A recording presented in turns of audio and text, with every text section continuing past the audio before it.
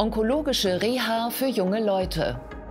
Guten Tag und herzlich willkommen zur Klinik-Sprechstunde, dem Asklepios Gesundheitspodcast mit Kirsten Kahler und Ärztinnen und Ärzten der Asklepios Kliniken. Herzlich willkommen zur Asklepios Gesundheitssendung. In Deutschland erkranken pro Jahr rund 16.000 junge Erwachsene an Krebs. Oft ist es schwer für sie, nach der Therapie dann eine bedürfnisgerechte Reha-Klinik zu finden, denn die meisten dieser Kliniken sind gedacht für Patienten jenseits der 40. Dabei treten ja manche Krebsarten bevorzugt in jüngeren Jahren auf. Zwei onkologische Reha-Kliniken, quasi die nördlichste und die südlichste in Deutschland, haben sich jetzt zusammengetan für ein neues Konzept. Da nimmt man speziell junge Erwachsene an die Hand und lässt sie die Reha selbst mitbestimmen und mitgestalten. Bei mir sind Privatdozentin Dr. Georgia Schilling. Sie ist die Chefärztin der onkologischen Rehabilitation an der Asklepios Nordsee Klinik auf Sylt und Privatdozent Dr. Thomas Wiedmann. Er ist Chefarzt der Asklepios Rehabilitationsklinik in Triberg im Schwarzwald. Schön, dass Sie beide Zeit haben. Gerne. Ähm, dieses Angebot, junge Leute, für wen ist das Angebot ganz genau, Frau Schilling? Das Angebot richtet sich an jüngere ähm, Menschen nach einer Krebserkrankung. Wir sagen von Anfang 20 bis Ende 30 ungefähr. Mhm. Und ähm, in welchem Stadium sind die? Wann sucht man nach einer, nach einer Reha, wenn man noch in Behandlung ist? Äh, in der Regel äh, gegen Ende der Behandlung oder wenn die Behandlung auch abgeschlossen ist. Ja. Und ähm, was ist der Vorteil, dass man etwas ganz speziell für junge Leute anbietet, Herr Dr. Wiedmann? Ja, also der Grund, warum wir uns zusammengetan haben, war einfach, dass wir gesehen haben, dass die meisten Menschen, die in die Reha kommen, in die onkologische Reha, in der Regel ein bisschen älter sind. Ja. Und wir aber speziell für die Jüngeren ein Programm fokussieren wollten, auch auf die speziellen Bedürfnisse der jüngeren Generation, der jüngeren Leute. Und hier sehen wir speziell zwei Themen im Vordergrund, weil bei den jüngeren Leuten ist ja teilweise die Berufsausbildung gar nicht abgeschlossen oder ja. wurde unterbrochen. Das ist das eine. Also Beruf, Beruf, Ausbildungsunterbrechung. Und das andere ist natürlich, dass wenn einen so eine schwere Erkrankung in jüngeren Jahren erreicht, ähm, ist man unser Gefühl noch mehr aus dem Leben gerissen, weil man damit ja auch gar nicht rechnet in einem jungen Alter. Und dann auch Familienthemen natürlich noch, vielleicht Familienplanung gar nicht abgeschlossen ist, aber auch dieses Thema Krebs auf einmal im Familienalltag Papa, Mama hat Krebs, auch zu Hause eine Rolle spielt. Und da sehen wir einfach einen besonderen Unterstützungsbedarf äh, für diese jungen Leute, für diese jungen Menschen, um ihnen hier einfach wieder ja, zu helfen, einfach wieder in die Spur zu kommen.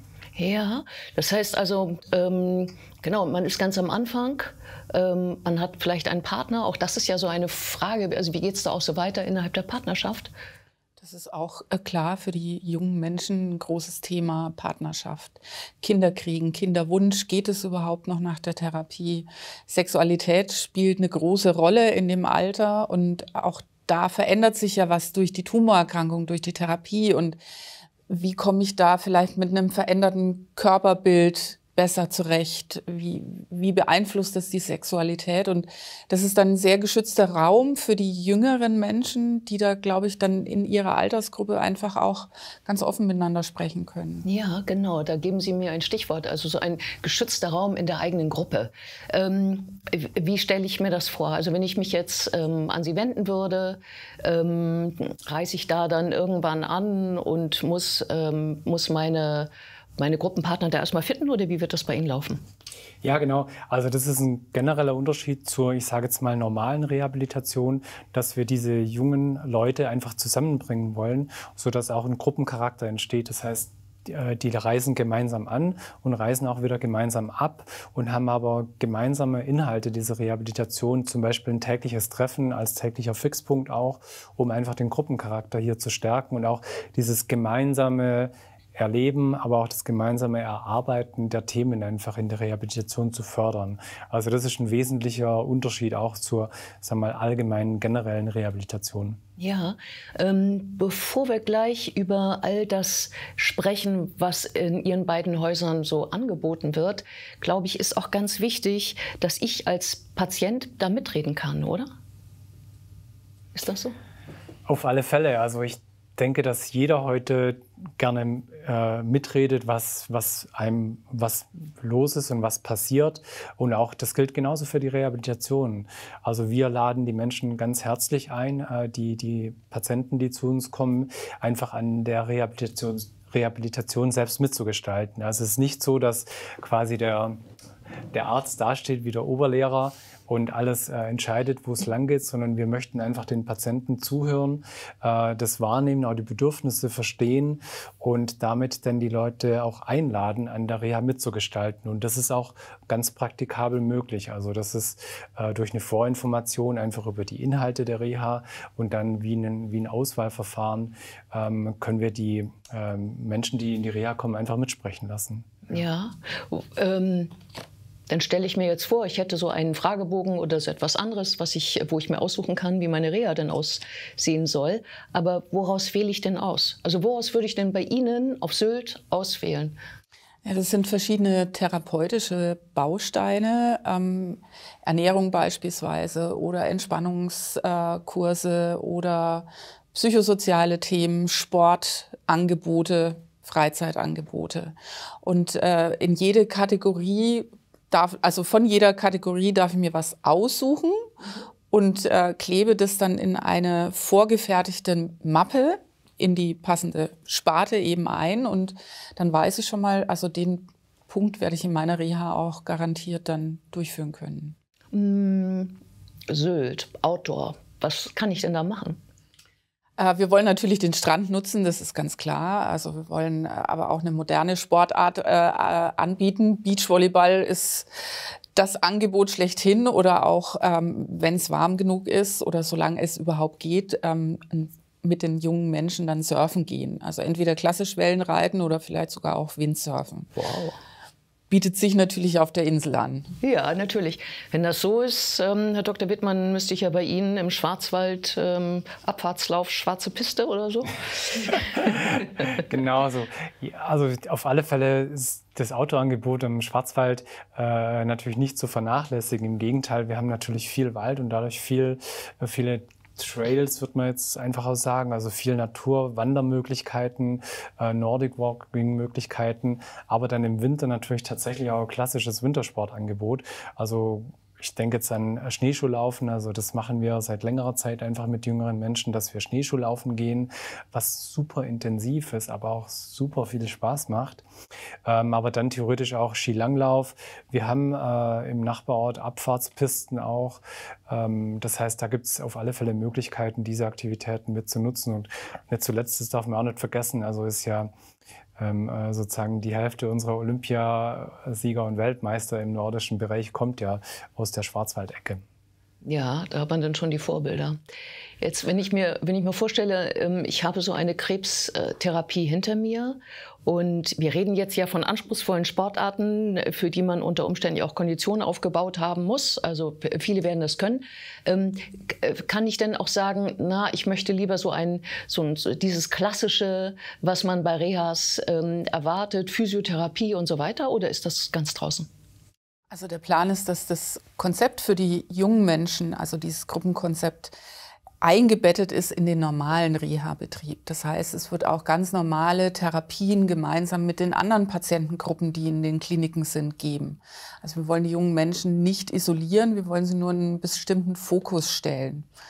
Aber selbstverständlich beinhaltet es auch die ganz klassische Ergotherapie oder Physiotherapie, wie bei allen anderen Patienten auch. Ja, ähm, Ernährung hatten Sie vorhin schon angesprochen. Hm bei Ernährung würde man sagen, naja, man, man will ja irgendwie satt werden. Also warum habe ich, ähm, in, inwiefern begegnen Sie mir als junger Mensch in Bezug auf die Art, wie Sie mir Ernährung näher bringen? Also wir wollen auf alle Fälle natürlich, das ist ganz klar, eine gesunde Ernährung fördern. Das steht ja außer Frage. Und äh, der Trick in der Vorbereitung dieses Konzepts war jetzt, dass wir uns auch nochmal mit Ernährungsberaterinnen äh, und Ernährungswissenschaftlern hingesetzt haben. Und aus dem Fokus der jungen Menschen ist ja ganz klar, irgendwie muss es doch schnell gehen. Das heißt, irgendwie, ähm, man muss zur Arbeit man hat, oder in die Schule oder ins Studium, man hat vielleicht mit Familienthemen zu tun tagsüber, äh, man braucht ein bisschen Zeit für sich selber und man kann nicht den ganzen Tag in der Küche stehen. Das, das geht einfach gar nicht. Und deswegen war unsere Idee oder der Fokus im speziell im Ernährungsbereich ist, dass es eine gesunde, aber doch schnelle Küche geben kann und auch geben sollte. Das heißt, wir wollen speziell einfach einen Themenkochkurs machen zum Thema äh, schnelle und gesunde Küche. Das, das ist die Idee. Welche aktuellen Trends greifen Sie dabei auf? Es gibt eine Reihe von aktuellen Ernährungstrends. Also wir fokussieren auf eine gesunde Ernährung und nicht auf äh, spezielle Ernährungstrends, ähm, sondern tatsächlich, also Fleisch, nicht Fleisch, ja, mhm. aber äh, also es soll jetzt nicht in die Richtung vegan gehen oder so. Das ist mhm. zu speziell für uns. Mhm. Aber nachhaltig schon. Auf jeden Fall nachhaltig. Ähm, wir müssen alle auch lernen, wirtschaftlich zu kochen und es soll nicht die Hälfte verworfen werden von dem, was wir kochen. Also geht es auch darum, um wie, was koche ich und was koche ich am nächsten Tag noch draus. Ja, genau. Ähm, das sind jetzt alles Dinge, die auch Spaß machen. Wir haben ja auch über Sport geredet, aber ja eben auch über diese drängenden Thematiken, die äh, für junge Menschen dahinter sind, wenn einer in der Familie eine Krebserkrankung hat. Gibt es denn ein, ähm, eine Möglichkeit, sowas auch mal unter vier Augen zu besprechen? Ähm, äh, oder mit einem, mit einem Psychotherapeuten darüber zu sprechen in der Therapie?